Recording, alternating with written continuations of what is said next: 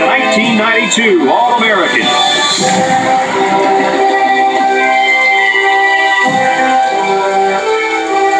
And here come the All-Americans.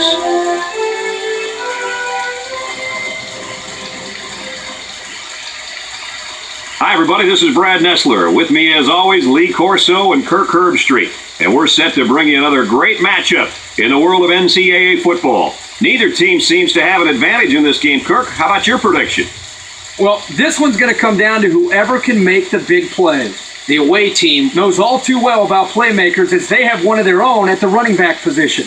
This guy's got way too much talent to be contained. Lee, I think he'll lead them to a close victory.